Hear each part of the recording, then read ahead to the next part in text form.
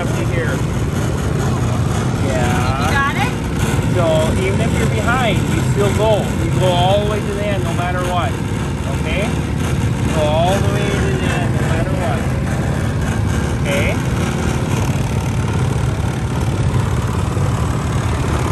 What do you think about your first big race, Harper? Are you good?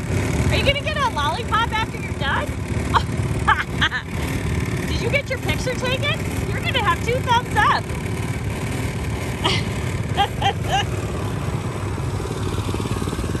Olivia, what do you think about your first Turf Wars race in the summertime?